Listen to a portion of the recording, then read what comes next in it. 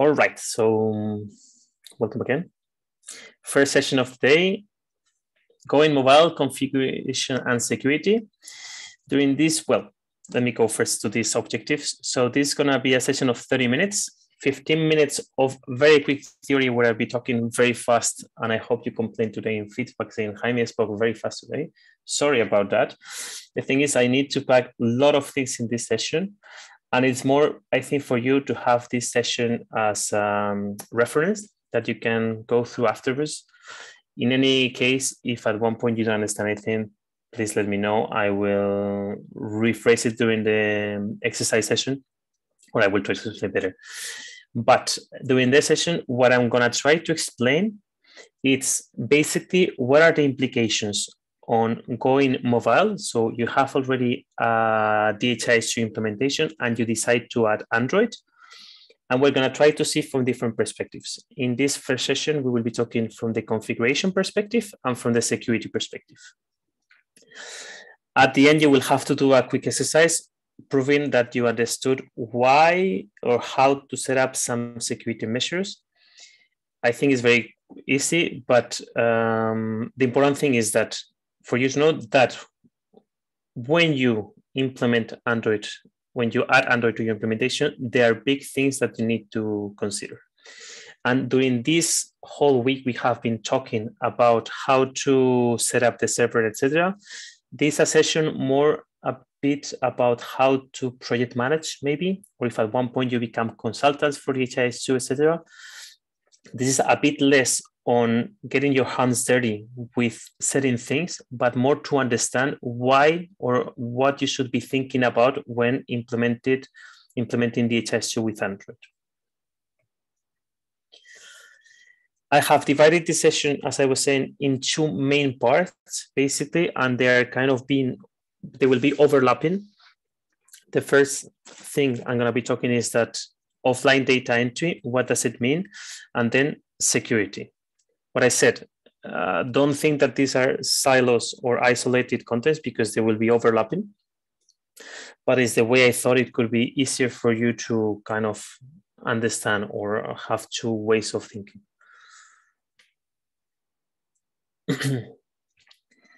so let me go um, here. The first group, offline data entry. If you know or if you didn't know, uh, and I will ask you to do it eventually during your during the session. You have been using the application the whole week, and probably you were having connection. You were having either Wi-Fi or you were having 3G connection. Uh, maybe you didn't realize, but if you could have, I mean, if you could have turned the Wi-Fi or the data out, sorry. Excuse me one second. I need to cough very hard.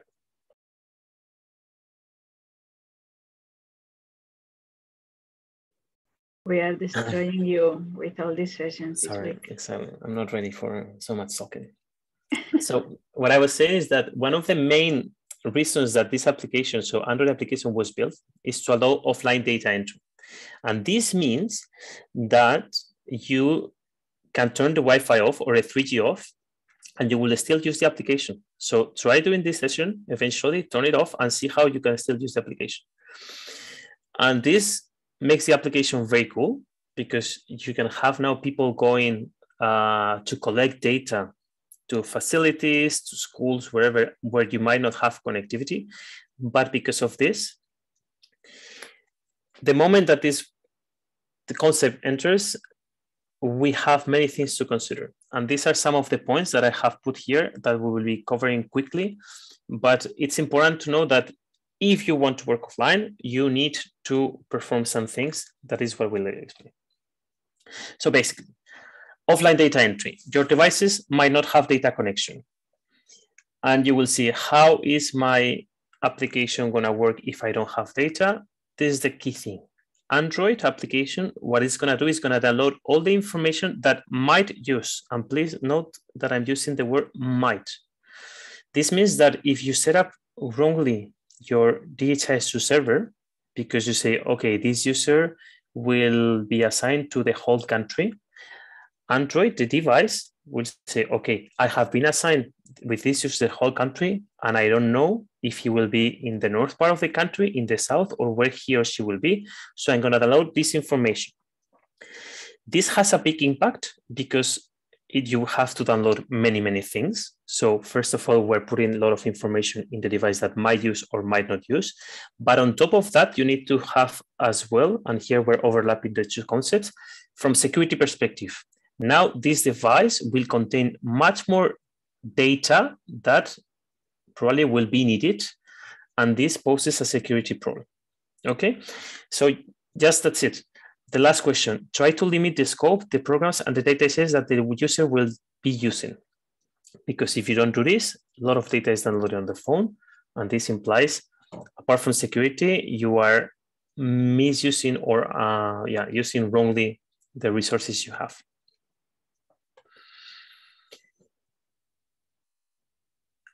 Here, it's something that was briefly covered yesterday. On the right side of the, of the screen, you see the refill. And on the left side, you see the, the amount of the default values. Basically, what I'm trying to say here is that your Android devices, they read a configuration from the server as Milagros was explaining yesterday. And this information tells the Android how much data I need to download. So for one side, we are setting the programs, the data sets, etc. But then we need, so that's the metadata, but then we have to put the content inside, that's the data. So by default, just for you to know that Android will be downloading 500 TIs and 1000 events. And on the right side, we see that we will have 100 reserve values. This limits the amount of information I will be able to put in the system. So if, just to make a quick comparison, imagine you are sending someone on the field to collect data and you give this person three sheets of paper and this person is gonna be out for one week. Probably with three pages, he or she will not have enough. So you need to make sure you give this person many more papers so they can perform their job. With Android, it's a bit similar. We can tweak these values and we need to do it depending on the setup. I will not go through examples, but just have this in mind that if the person will be offline for more time than other people, maybe we need to adjust these values.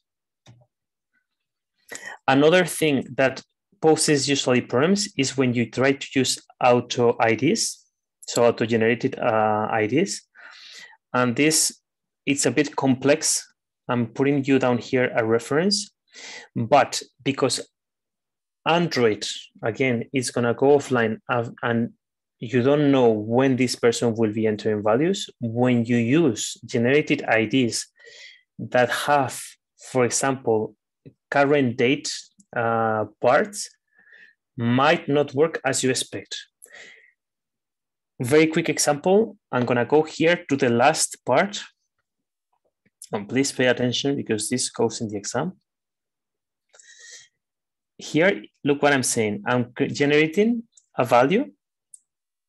This, for example, imagine you're registering patients uh, that have COVID, and here you are trying to put current, these patients should have a unique code that is the current date, year, month, and day, and sequential from zero to 99. If this sounds a bit weird, don't worry. Basically, what I'm trying to set is like a generated ID that contains this specific pattern. Android is going to connect to the server and it's going to request values. But Android doesn't know if you're going to be entering patients today, tomorrow, in one week, or in one month. So if you realize here, I'm putting years, month, and date. So today is the 3rd of December of 2021. This is from last year, sorry. And it will generate, Android will say, listen, I cannot know if you will be entering values today or tomorrow or in three weeks. So I'm generating everything for today. So it might not work as you expect. If this person goes offline and tries to register values tomorrow, Android will say, I'm sorry, I have run out of values because all the ones are from yesterday and I don't have values for today. I'm putting here a reference that is very well explained. It's just for you to have this in mind when you set up a system that this might not be the ideal way of generating values. And this is something that changed a lot from using web than from using Android. Because in web, we're always working online. People have connectivity. In Android, we don't we might not have connectivity. And another thing to know is that Android, despite I've told you that you can uh, remove your data connection or your 3G, your data or your Wi-Fi connection, at the moment you can use the application, but of course you cannot synchronize because in order to synchronize, you need to reach the server. Important to know that you can synchronize by, by SMS. It's not covered here. I'm putting more references here that you can use in case you need, but it is good to know that with your devices, if at one point you're going to places where there will be no Wi-Fi and no connectivity at all, you could still synchronize by SMS. If you're syncing TIs, it might require several SMSs per TI, but it's a possibility and Android application can do it. I know I talk about maybe blur concepts. I hope I managed to transmit you that there are big trick uh, perks into setting for Android or not setting for Android. And now we're going to talk quickly about security. And unfortunately, I think this session should be much longer, but I don't have the time.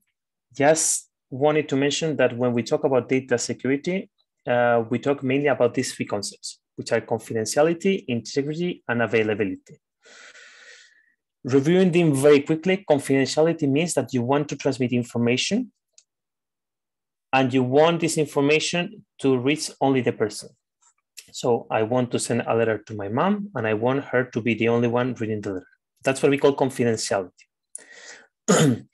Integrity is that this information needs to be authentic. If I have written a letter and I have put a lock in the envelope, for example, I want that my mother sees the letter, but I want her to read the letter I wrote. So that's what we call integrity. Nobody can uh, mess with the message. And availability is that information needs to be available when the when it's needed. So I'm sending a letter to my mother, and I want her to let her know that I'm arriving tomorrow. If this letter does not arrive tomorrow, but in three weeks, doesn't make sense this letter. So that's the three concepts very quickly explained in terms of data security. But we cannot talk about data security without mentioning these concepts. Again, this is something that I'm hoping that you will need in case you become more like um, implementer of DHIS2 more than a person setting the system, or you become project manager, just for you to have these concepts in mind. And for this, I have prepared a quiz that we don't have the time to, to do now. But I'm going to take, for example, this last, well, this question here in the middle, and I know I went in 10 seconds to this concept, but for example, imagine you have set up a DHIS2 system and your database on your server gets corrupted, but you have backups. I'm giving you five ten seconds to think if you think that this means that it has an impact in confidentiality, that it has an impact on integrity, or it has an impact in availability. I give you five ten seconds. If uh, you want to open your mic, your mic microphone and talk, say it. If not, I will read the chat.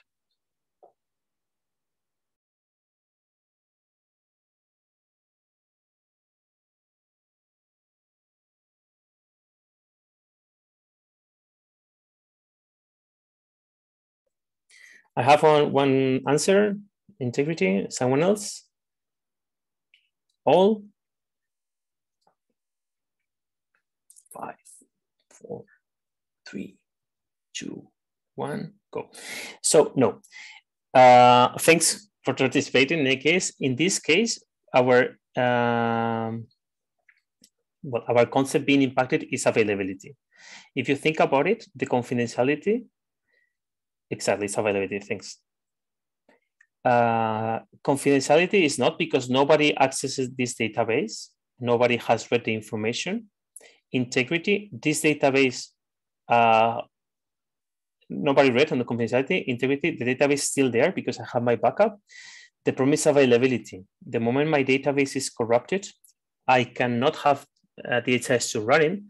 So my impact is in availability. So I need probably to restore the server and this is gonna take one day, one week, whatever in any case, this is a quiz that I'm putting you here. What I would like you to do I'm gonna say this weekend because I don't want people to work in the weekend, but maybe next week when you review the slides I'm giving you the answers at the end of the of the session, but maybe you want to quickly uh, go through it and try to analyze. I think it's a good exercise in case you need to assess at one point uh, the HIS2 implementation.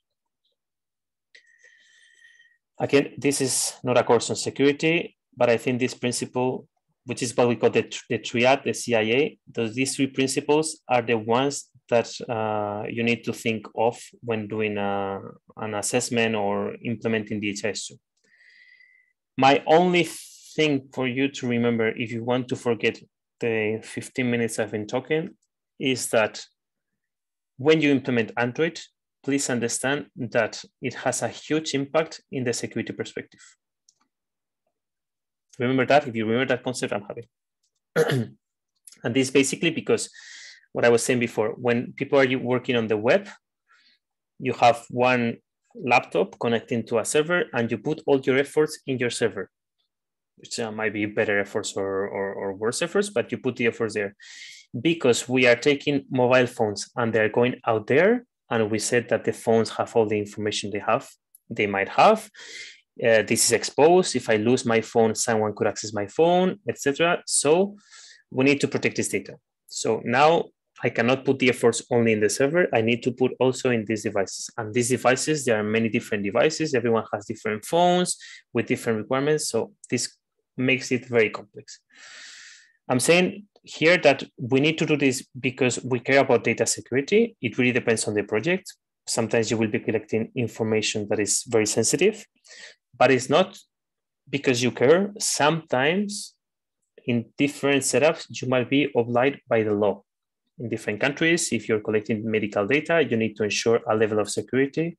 And this is something that you need to check because I don't know, of course, the legislation of any country, to be honest basically that's it. I'm gonna quickly finish with this, that we are doing our part by following this uh, security framework that we call OWASP, and it has the impact on these things I'm putting here. Uh, that's the reason basically you cannot take sc screenshots with your with your phone because following this framework tells that we should not let people take screenshots so they cannot share sensitive information. There are other things here I will not cover because I don't have the time. But this is what we could do and we have done it. Now it's up to you to make sure you secure your implementation. And for this, there are things you can do on the phone, for example, by setting a PIN code. And this is something we're giving you in the application. You can set up a PIN code on the application, but you can also set it on your phone. I'm sure most of you have already a pattern or a um, fingerprint in case you have a phone that reads fingerprints, whatever. But we also provide you to do this within, within the application. And also you need to set up the server to make sure that this security level is increased. And for this, what you should do is grant always the minimal permissions and the minimal scope. Again, think that this device will go out on the wild. And if I have downloaded more data here, I'm uh, enlarging the scope of or the attack vector, if we want to talk with uh, security terms. That's it. Let's secure our implementation. I think I have one more slide. I'm gonna go very quickly. Let's see. Yeah, okay. Ah, sorry. So as you see, the, the slide that is coming afterwards is the one with the solution to the test. If at one point you wanna go through the test, please go. I think it's a nice activity too. But let's secure our implementation. Let me stop sharing and I will start sharing now the, the one with the exercise.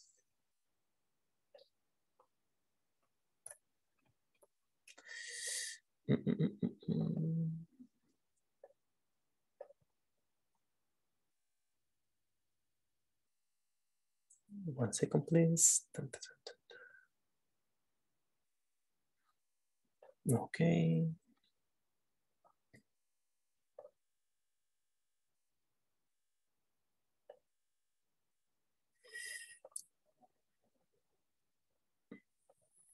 Present view.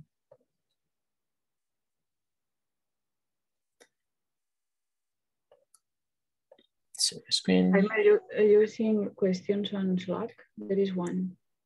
Uh, if you have no. time, it is about could you please explain again about integrity, security, and availability? I don't know if you okay. have time, maybe, yeah. I'm gonna go through the exercise and then I will answer that question, okay? Um, because it says it's very quickly explained, and then I will I will answer that question.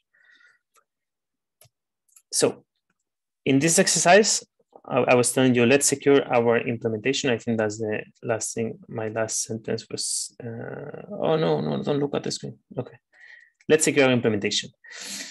What I'd like you to do now is to make sure you can put in practice these concepts I was talking about. And basically, this is the heading of the, of the exercise. After the whole week working with Android uh, and setting your server, I'm telling you that we have reached the finish, the end of the campaign, and you have been all assigned a user that we call ST001 or 0 whatever. So this user is not longer going to collect COVID data. It's not going to go out there to collect patients, uh, but you still need to do some work with this device. So these phones are still need to they still need to be able to see the patients you enter, but you don't want to let the user create more patients. So for this, you need to do two things. Well, and, and we this we consider that this phone, the scenario, eh, is going out there on the wall, and you are scared that people can lose their phones and then someone could access the phone and read these patients with COVID that they have been registered the phone. So what I'm asking you in this uh, scenario, uh, fictional scenario, is to secure your implementation. And by this, what we would like you to do is to convert this Android user that you have been using the whole week into a read-only. So this person can only uh, read the data and sometimes this called a manager or an access in some implementations that I have been uh, working with. And also, I want you to put a pin code on the application. It's very easy to do this task, but I think it will allow you to go through this concept. Here is the example, what you have to do. If you see on the left side of my of my screen, in this one, if this uh, uh, screenshot I took from my phone, you can see that I create test here you can see I have clicked here and you cannot see down there, but I have my, my keyboard and I could type. While on the right one, I cannot. It's a read only. And this you see the fields are a bit like grayed out. So what I'm asking you is to convert, to pass from the left side to the right side. And for this, you need to change your sharing settings on your program like as i'm putting here. The exercise. Ah, and also you need to limit the scope that I'm putting here. So there are four things you need to send. So a document with four screenshots. The first one is, and this is something that some of you already did on the first day, some people did not do, but we want to make sure you assign the user to only that organization unit, that you send an image with your new sharing settings. So I see that on the server you have set it up properly. On the other hand, I want another screenshot of your Android device where I have, so you perform here some changes in the server, the device retrieves the new with a metadata sync. So you will see that it becomes gray. And the last screenshot you have to provide is uh, a screenshot with the pin code on your application. Not on the phone, but using the DHIS2 capability of setting a pin code that's the exercise. I'm gonna be here for the next minutes. I'm gonna answer now the question you asked. And well, that's it. I think it's easy. If you have doubts about the exercise, let me know. If um, well, I, I will keep recording until the end of the uh, for four four minutes. So let me go back here. I don't know who asked. Thanks for the thanks for the question um, about the confidentiality, integrity, integrity, and availability. I know I went through them very quickly, but basically, when we talk about data security, most of the books, most of the information we will we will find they refer to data security with what is called the triad of data security, which is CIA. Some people add another fourth thing, which is called non-repudiation, but we will not uh, talk about it. Basically, these are three concepts that have been discussed and have been decided that are the main pillars of data security. And we have confidentiality, integrity, integrity, integrity, fuck, in, integrity. Integrity. Wow. Integrity and availability. With each of these concepts, we look at the problem of data security from different lenses or different points of view. The first one is confidentiality. And confidentiality, I'm going to read the concept here, is that the information needs to be accessible by only that's the, by only those that the information was designated to. Rephrasing it means that I want something to be confidential in this domain of data security. I'm, I'm talking usually about data, IT data, so patients data or uh, yeah, patients data if I talk about it, students data if we talk about the education domain. And I want this information to be only accessible by those that the information was assigned to. So imagine I'm registering patients. I want only the specific doctor to be able to read the information about this patient. That is what we call confidentiality. If I tell someone a secret, I am the person creating this information and I'm sharing only with another person. I'm trying, well, I'm talking here about confidentiality. I have a secret and I share with this person. That's confidentiality. The second concept is integrity. And is that this information needs to be authentic, real. It needs to reach the person or the agent that the information was designated to the same way that it was created. So I'm going back to the medical uh, example. I have registered a patient and I say, okay, a patient came with COVID today. He's a male, 32 years old, uh, has AIDS, and has had surgery in the last two years. I'm putting, I'm compiling this information. I'm keeping it safe, secret, confidentiality. But when I go back to this information, I want this information to be the same. I want this information to say this was a patient, male, 32 years old, uh, with AIDS, etc. If when I read this information, it says it's a female, 18 years old, uh, never had surgery, my integrity of the information is broken. So someone has changed this information.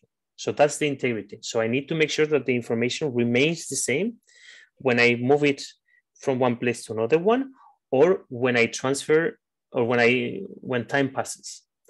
If I go back now to the example of the secret, if I'm telling someone a secret and I'm saying, I am gonna drink two beers tonight, I want this in person to receive this information. So I don't want him to understand I'm gonna drink two teas tonight. I said two beers. That's integrity, okay? The information remains the same within time. And the last part is availability. And availability means that this information needs to be accessible when I want it, when I need it. Medical example, this doctor goes now to his or her files, open the filer, takes this thing, it says, we said we were talking about a patient, male, 32 years old with AIDS and surgery in the last two years, I think I said. The information is there, that means availability. If when I open my drawer, my filer, the information is not there, I have broken the concept of availability. Imagine that this paper has been destroyed. So confidentiality still could be because nobody read it, hopefully. Integrity is authentic. Nobody changed. So I'm not reading wrong information, but the information is not there. This file is not there. If I go back now to the stupid example of me going out tonight and having two beers, if I'm putting a note here for my for the person living with me, and this paper flies away because there's wind in my house, the the person that the message was supposed to be intended to to be cannot read it because the information is not there.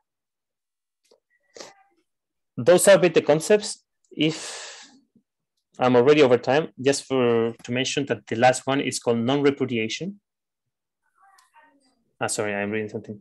Uh, and non-repudiation, it's another concept that some people consider and means that if I create information for someone and this person said he received it. Later on, they cannot say I did not receive it. That is what called that's what's called non-repudiation. But the main ones ones that everyone agrees on is CIA, confidentiality, integrity, availability.